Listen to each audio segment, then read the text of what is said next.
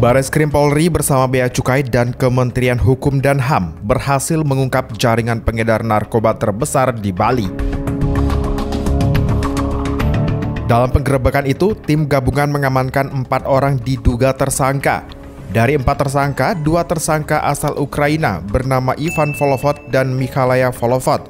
Satu tersangka WNA asal Rusia bernama Konstantin Krutz dan satu tersangka lagi merupakan seorang warga negara Indonesia. Diduga, para tersangka membuat laboratorium rahasia atau laboratorium narkoba dan hidroponik ganja seluas 180 meter persegi di Villa Sani Canggu, Badung, Bali. Dari penggerebekan itu, petugas menemukan 9,7 kg ganja hidroponik, 437 mepedron, dan ratusan kilogram berbagai bahan kimia untuk membuat narkoba.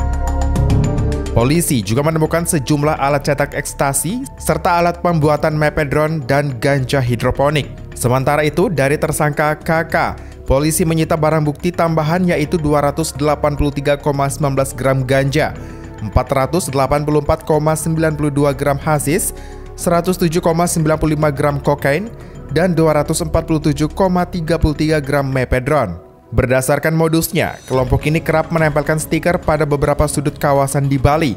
Stiker tersebut menjadi kode untuk transaksi pembeli dengan jaringan Hydra.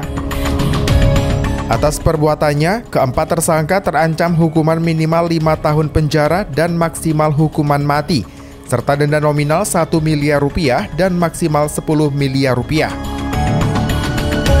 Farah Devanti, GoTV News melaporkan.